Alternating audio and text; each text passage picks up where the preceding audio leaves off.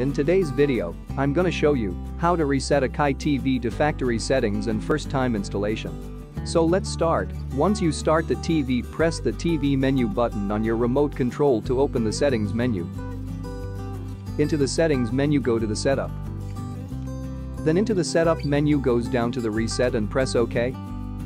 Then will appear a message are you sure? Just press yes to continue.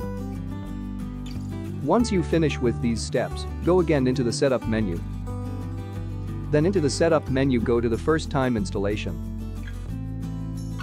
Once you tap on it, the first time installation will start. First, you need to choose the OSD language and the country. Then press OK and the auto tuning will start. After the auto tuning is finished your TV is ready. Factory reset and first time installation are done. Thanks for watching. Don't forget to like and subscribe.